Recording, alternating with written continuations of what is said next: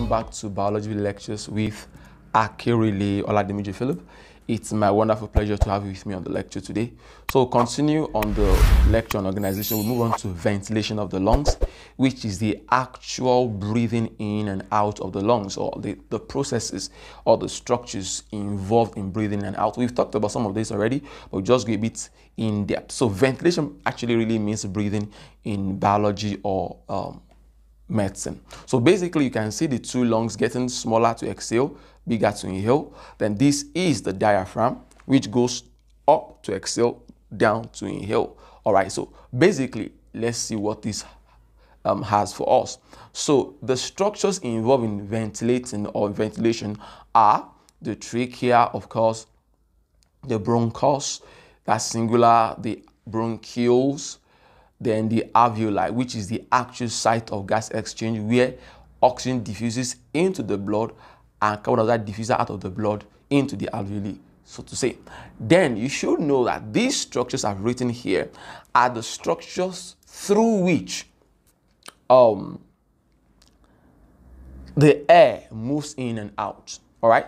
Then bear in mind that these structures, I didn't write the lungs here because these, all of these structures are within the lungs. So this, like I'm saying, the lungs already, all of the structures are in the lungs.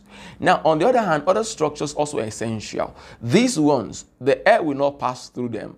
But I tell you, without these structures, we can breathe in and out. Yes. So we have the diaphragm, the ribs, the intercostal muscles, and the sternums. So you know, I talk about the diaphragm is the muscular sheath which goes down when we breathe in and goes up when we breathe out. I will still explain that a bit in more details. Then I want us to look at the intercostal muscles a bit more and the sternum. The sternum is the breastbone. Let's take a look at that right now. Good. So these are the, we have 12 ribs on the right, 12 ribs on the, on the left. We have 10 normal ribs. Then we have two floating ribs. This one's here, two floating ribs. So we have 12, 12 ribs, so to say. Then you should know that the ribs are not directly attached. This is where the ribs ends. These are cartilages. So the ribs are attached to the cartilage, then the cartilage to the what? Sternum. And that explains why the, the, the chest or the thorax is more flexible. Because if the ribs were attached to this sternum directly, it wouldn't be as flexible as it is. All right. So this is the diaphragm here. Then you should know that in between these ribs, we have the intercostal muscles, which I'll be showing you that now. Good. Here again is the sternum. These are the, the ribs. These are the cartilages that attaches the ribs to the sternum. Then this is the external. You can see that intercostal muscle. Then these two are the internal, like I told you. This is rib, this is rib. And I told you they are intercostal because they are what? In between the ribs, as it were. Now, so during inhalation, I'll be explaining something real quick here. For both O-level students saying this and those are A-level students. For O-level students, when you inhale, you will say the intercostal muscle contract. And when you, so this is inhalation. When, when you exhale, O level please, we say intercostal muscle relaxes. All right? Please don't forget that. This is for O levels. But for A levels, please pay attention right now. I need to use this to explain. When you inhale, let me write, when you inhale, inhalation, the external intercostal muscle contracts while the internal costal muscle relax when you inhale. And when you exhale, the internal intercostal muscle will now contract while the external will relax. So to make it easier for you, so this is external, this is exhalation, exhalation. So we say internal contract, external relax. During inhalation, internal relax, external contract. Is that simple? So I, I want you to understand this. You might rewind the video, it's very simple. All right. But for all levels, we just say when you inhale, inter, internal, intercostal muscles contract. When you exhale, intercostal muscle relaxes. But if you want to go real in depth, the way, because you have two sets of, in fact, three sets of intercostal muscles, really, but at least I want to work with the internal and external, not innermost, so to say. All right? It's very simple. So now it says during inhalation, the external set of intercostal muscles contract to pull the ribs up and out. That's why I just explained. It's more like A level, so to say, but just so that we just say it contracts for O levels. All right? You might just rewind the video again to get up again. The volume of the thorax or the chest increases. You agree with me that when you saw this, let me go back to the previous slide, like the first slides. Good, I think that yes. So you see the volume was this. So it has increased here, decreased. So it increased when you inhale. You see that the volume I took it from here is longer. So it's like from here to here, so to say. So it means there's an increase in the volume of the chest or the thorax. Then what would that mean? Decreasing air pressure, then drawing in air. So the pressure in the lungs or that region, because it's the point, increase in volume means decrease in pressure. So the pressure has reduced. So the lung has space to expand. Then uh, let me see if I have that here. Come a few seconds. Then we say the diaphragm. Diaphragm descends, or you can say contracts, or becomes flattened. So that's any of those words, phrases works for it.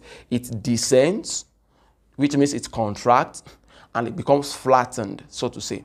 So all that, all of this are things that happens. Of course, the, the, the, the whole the whole chest becomes bigger, so to say. The sternum moves upward and outward, so to say. All right. I think I have a slide that will give you more um, detailed stuff, so to say. So these are the sequence when someone inhales, so to say. This is a bit a bit more um, advanced, so you might just pause the video here to read more of this, so to say. Then this was I was telling you, good, I love this. This is quite slow. Yeah, can you see how I love this? Can you see this exhale? So when you inhale, just watch what happens. Can you see the, the diaphragm goes down, creating more space for the lungs to breathe in. This is so nice, all right? So let's move on. So on the other hand, when you exhale, the external set of intercostal muscle relax. So the ribs is going to go inward and downward. So to say, can say it drops down and in. So I would say inwards and downward. So to say, this decreases the volume of the chest. That means everything is squeezed. And what would that do? Increasing the pressure, forcing air out. Now, let's add this to it. The diaphragm does what? Relaxes or forms a dome shape, it looks like this. It was like this before, then it, it becomes like this. To push, to, sorry, to push the, the, the air, or to, to, yeah, to push the air out of the lungs. Like it's just, every old thing happening there squeezes the lungs to force it out, so to say. Though it's, it's a passive process, actually just, just relax, so to say you can see how the lungs, how the, the whole thing looks now. All right. Uh, okay. Yeah, the same thing here. So see what happens. This is when you inhale. Then see what happens when you exhale. The whole thing pushes the lungs upward to force the air out of the lungs and out of the trachea through the nostrils. All right. So this is real detailed. I love this. You should pause this video. I think everything I've explained is here. It's not very clear, but at least you should be able to get the details out of it. It's everything I've explained is really so. This is another. This is inhalation, same as inspiration. Expiration, same as exhalation or breathing out. This is really, really um, detailed. All right. How does the lungs um, respond to more oxygen demand. Let's say, for example, there's a need for someone to, let's say you, you, you, you're exercising. What is the change that happens? Like, let's look at that. When we need to increase the rate of gas exchange. For example, during strenuous activities, the internal intercostal muscles will also work to pull the ribs down and in to decrease the volume of the, the, the volume of the thorax more, forcing air out more forcibly and quickly. This is also called forced exhalation. So when we have, uh, there's a need for, what's called, more oxygen, there's also a need for more CO2 to go out of our body. Yes, because once you are active, your cells make more carbon dioxide because they're working more. So that carbon dioxide must not accumulate in our body. So there's also, it says that there's actually a greater need to to rid the body of the increased level of carbon dioxide during strenuous exercise. So this allows a greater volume of gases to be exchanged, so to say. So the point is when we are um, exercising, the lungs, everything I explained earlier on increases more. So you breathe faster. I, I believe you've exp ex um, experienced this before, all right? So even when you're not exercising and you're tense, you're nervous, your body cells start respiring more. So when there's more respiration, there's more need to get more oxygen and more need to get rid of carbon dioxide, so to say. That's just that. So this is just a, an, um, an illustration of how the lungs, though it's not fast enough to really show you what, what is being explained, but that's just a little explanation of that.